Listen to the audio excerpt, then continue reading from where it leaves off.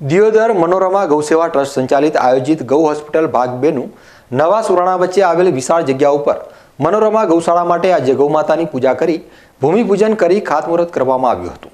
જે અંતર્ગત નવીન જગ્યા ઉપર યજ્ઞનું પણ આયોજન કરવામાં આવ્યું હતું. જેનો લાભ ભરતભાઈ ઉમેદભાઈ પટેલે લીધો હતો. આ પ્રસંગે મલાભાઈ ચૌધરી, ગુજરાત રાજ્ય ગૌશાળા પાંજરાપોળના મેનેજિંગ ટ્રસ્ટી જયંતિભાઈ દોશી, અમરાભાઈ ચૌધરી સહિત મોટી સંખ્યામાં ગૌભક્તો હાજર રહ્યા હતા.